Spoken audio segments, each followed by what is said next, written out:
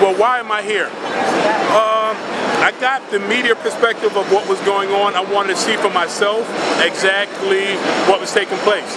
And when I came down, I was very surprised at how organized and just just the feeling among the people. There seemed to be something germinating here that I have not seen take place in this country 47, so in my 47 years, I have not seen this. I've been a part of some movements and organizations, uh, the Million Man March, the Million Youth March, uh, but I really sense the coming together here that that was special. I've been here probably 10 consecutive days. I'm a student locally at BMCC, so I come immediately before or immediately after.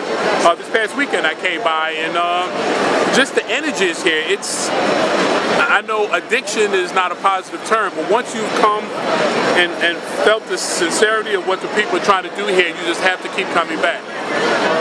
What do you? Um, what would you like to see come out of this? Uh, come out of this organization or this uh, movement? I would like to see uh, a constructive plan that would hopefully address some of those issues related to the disproportionate way wealth is disseminated in this country, that so few hold so much, that so many are suffering.